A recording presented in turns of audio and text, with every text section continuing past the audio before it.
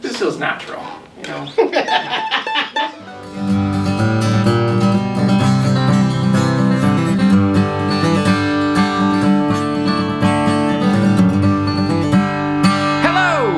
to Guitar Hunter. I'm Jeremy. This channel is Guitar Hunter, and here's the thing you need to work on your ears. There are critical aspects that you need to pay attention to. So, in this video, I'm going to teach you six components of guitar tone that you need to pay attention to. Now, this will save you money, this will save you time, this will make you a better musician. Before we get into it, make sure you subscribe. I'm Jeremy. This is Guitar Hunter. Let's boogie. A couple months ago, I jumped on a plane. I flew from here, I flew to Springfield, Missouri, and I got to hang out with the Chapmans. John, Jason, and Jeremy Chapman, three brothers that have an amazing guitar shop in the Ozark. One of the things that we did, the first video that we did, is that we compared the Bourgeois Touchstone Dreadnought to a Bourgeois uh, Dreadnought made in the US. Now these guitars, it's interesting, there's definitely some fun spec differences. Both are effectively the same guitar, made from the same stack of wood, but one is assembled in the US, one's assembled in China. And so I was blindfolded and I was asked, tell me which one is which. And so I wondered, can I hear the difference? Can I just sit there and hear? Now, 20 years ago, if there was a guitar made in China versus a guitar made in the US, it would be very obvious, but it was incredibly shocking how different it was. Now here's a clip of me trying to figure out which guitar was which, and uh, I'll include some of the video that came from that day. All right, here we go. Guitar one.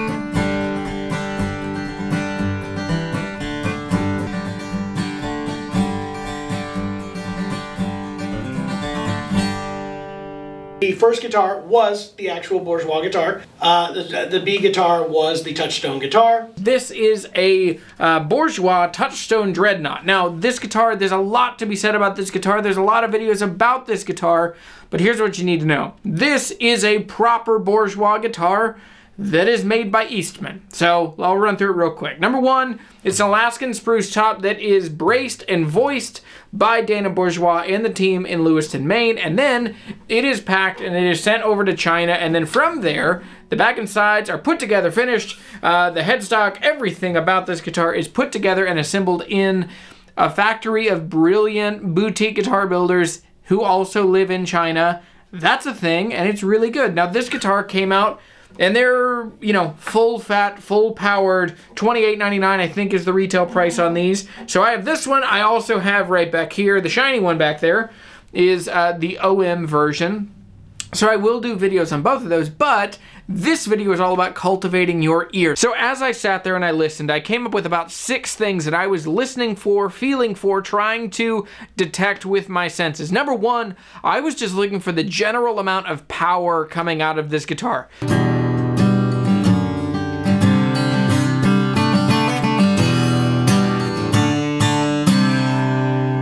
Usually, guitars that are made in China, import guitars, have thick polyurethane finishes, and that makes just their general responsiveness different and their their total power output lower. So I was listening, are they both the same volume? Are they both do they both have the same amount of punch and presence as they are being played? And so the first thing I'm just thinking about is power, and I found myself leaning in, I felt myself like trying to really feel against the floor for just the power that's getting put out from this guitar.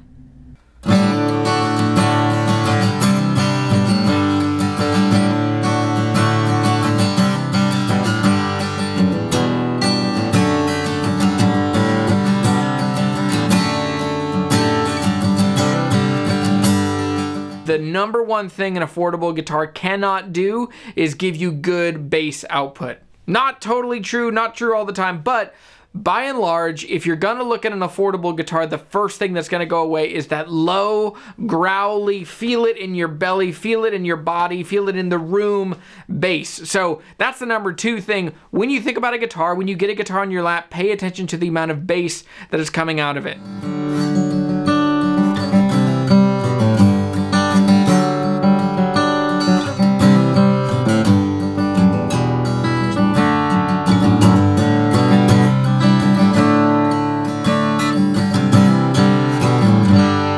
Now, the third thing is note separation. When you're listening to a guitar, are you able to hear each of those notes individually, or does it get muddy? Because sometimes when guitars are made more effective, if they're over braced, if they have really thick bracing, if they're more made to be more affordable and more durable, one of the things that really goes away is the ability to clarify and to keep that clear note separation between each of those six strings. That the quality of single notes. You should be able to get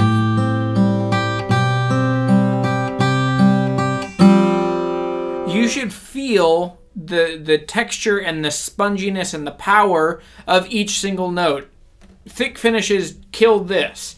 So this is the thing that if a guitar sounds thin, now thin just means lacking in life, bass, presence, all of these words just you know it when you hear it and you feel it. It's the idea that you would have a guitar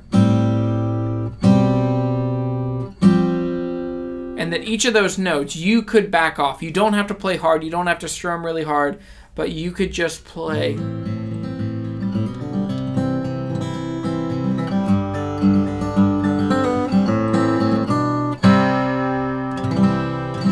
That you would be able to play, and each note is both the same volume but also the same power level. Now, to move even more specifically down from note separation is to move into the quality of individual notes. When you get guitars, you need to pay attention to every single note that's coming out of them, and that's where expensive guitars and really well-made guitars tend to shine. My right Luthiery J35, whatever we call that guitar, the number 36, that guitar has the most clarity and punch and bass and articulation to single notes on the E string, the B string, on the G. Single notes ring out and they are present and they are powerful and they're really wonderful. The fifth thing that you have to pay attention to is sustain. So one of the things I was listening for is when the song was over, I listened for how long those notes continued to ring. That is one of the largest markers of a well-built guitar is its ability to hang on to that energy. Uh, guitars are physics systems. They are energy that comes from your hands and gets vibrated into the guitar, gets resonated through the body of the guitar, and then gets sent out of the sound hole. And as good guitars can hang on to a lot of that uh, energy, great guitars can continue.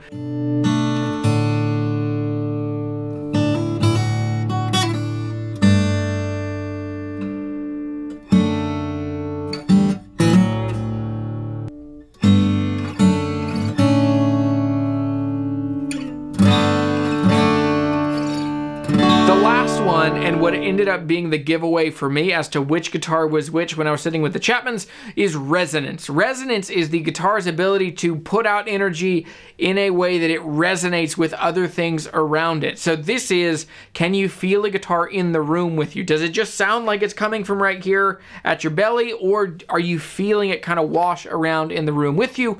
And so for me, one of the giveaways was I ended up finding myself planting my feet flat on the ground and really leaning forward and really trying to hear what's coming out of this guitar. I was able to feel resonance in the ground from the American-made Bourgeois that I didn't get as much, uh, and you know, but it still was a total toss-up.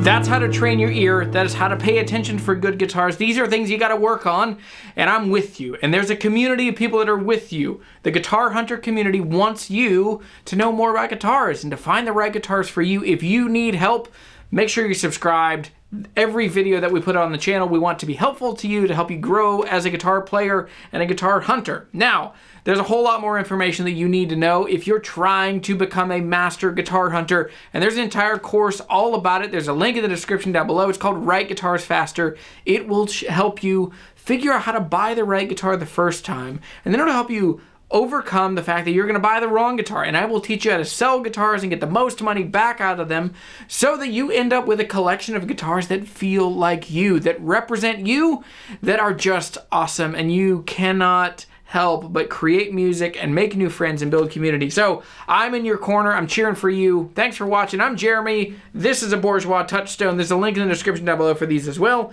And uh, man, I hope you develop some great ears and you find incredible guitars because it's, man, it's so good. All right, go and fill the world with music and friendship. Thanks for watching. See you later.